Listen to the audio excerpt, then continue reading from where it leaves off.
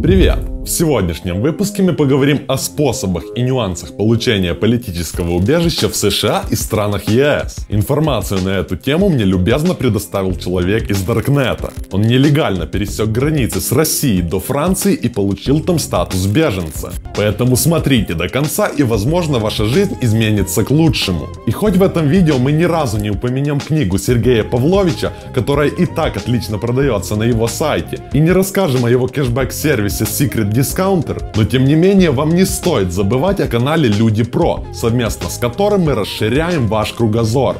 Итак, перед тем как рассказывать о различных способах получения политического убежища, я расскажу, что это вообще такое и зачем оно нужно. Политическое убежище – это право на проживание, которое предоставляется государством гражданину другой страны, чтобы защитить его от преследования. Человек, получивший политическое убежище, получает вид на жительство, возможность работать и получать помощь государства. Очевидно, что для большинства людей политическое убежище – это шанс на лучшую жизнь. Вообще вся процедура получения политического убежища больше похожа на театр – то есть ты всех обманываешь, а они об этом знают и пытаются поймать тебя на лжи. Именно для этого и спрашивают разные даты. И потом через две недели ты повторяешь все снова, но уже на большом суде, где тебе могут дать политическое убежище. Способ его получить только один. Доказать, что твоя жизнь на родине в опасности что ни правоохранительные органы, ни государство не может тебе обеспечить безопасность и уверенность в завтрашнем дне. Этот ролик будет построен в виде вопросов на ответы, раскрыв которые у вас сложится общее представление о данной теме и понимание того, нужно оно вам или нет. Рассмотрим некоторые примеры. Можно ли получить политическое убежище в странах ЕС или США по факту несогласия с политическим вектором Владимира Путина? Обычному человеку получить политическое убежище по этому пункту довольно-таки сложно. Если вы пару раз выходили на несанкционированный митинг с плакатом «Путин хуйло» и огребли дубинкой от ОМОНа, а также периодически получаете люлей по месту проживания из-за нетрадиционной сексуальной ориентации, это еще не повод для предоставления политического убежища. По факту вам так и ответят. Не ходите на митинги и смените место проживания. Если бы все было так просто и задержание на оппозиционном митинге, да еще и со следами побоев на лице было бы достаточно для получения политического убежища в стране с высоким уровнем жизни, то на митингах было бы не протолкнуться. Вот только нужны ли цивилизованных странах политические беженцы в таком количестве?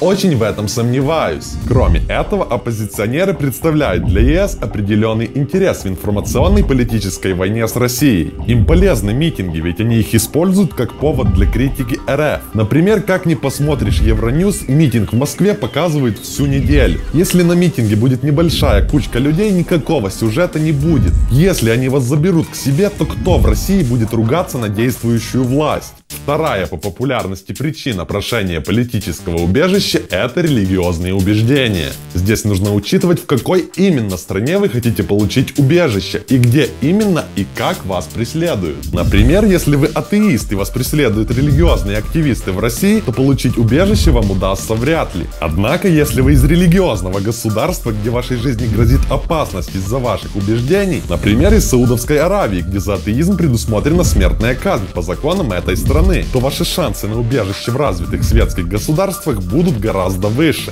Не менее популярной причиной прошения политического убежища является принадлежность сексуальным меньшинствам. В странах СНГ, а больше всего в России, довольно консервативно относятся к подобным представителям. А в Чечне так вообще пытают, убивают и похищают. Однако государство на это реагирует слабо. Очень много выходцев с России идут именно таким способом. Однако нужно доказать, что вы действительно подвергаетесь дискриминации дискриминации. Впрочем, думаю, собрать доказательную базу для подобного кейса не составит труда. Какие сведения о себе и предыдущей жизни должно предоставить лицо при запросе политического убежища в странах ЕС?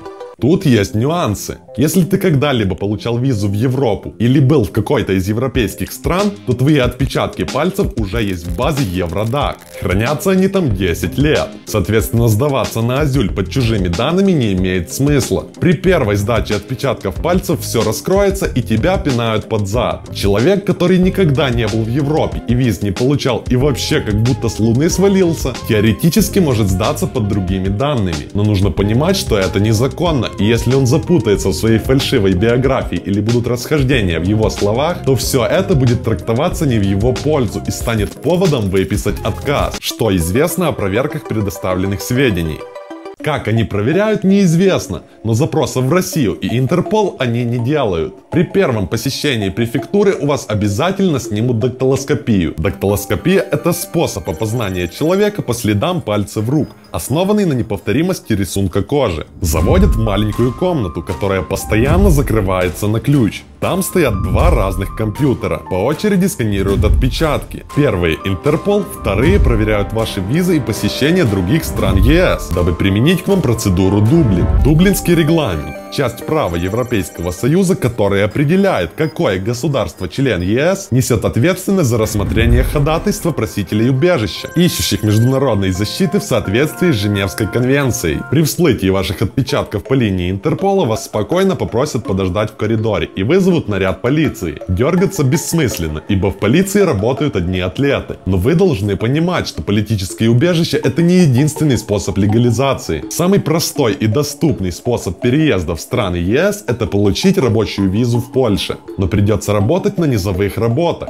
Или если есть крутая специальность, то можно поискать работу в Западной Европе. Когда вы попадаете на собеседование в посольстве или у работодателя, то лучше не упоминайте о своих политических взглядах. Там любят космополитов, которых политика не интересует. У них и своих активистов хватает. Компании, в которых вы собираетесь работать, интересует только их прибыль, а ваши взгляды на политику РФ могут только насторожить работодателя, ведь ни один из них не любит рисковать при подборе персонала. Кто знает, что они могут подумать, а нейтральная позиция позиция никого не насторожит. Спросят о цели приезда. Скажите просто «хочу больше зарабатывать», «хочу профессионального роста», а Россия для вас исчерпала свой потенциал для заработка. Вы многого там добились, но ваша работа будет стоить дороже. На Западе вы сможете сделать больше, чем в России. Вы будете работать только в интересах компании. Можете принести ей грандиозную прибыль. А для государства вы неиссякаемый источник налогов. Кроме этого, порядочный гражданин. Уважаете закон, какой бы он ни был. Верите в Бога, ходите по воскресеньям в баптистскую церковь, всегда платите налогов, а если знаете, что кто-то не платит, то обязательно на него настучите.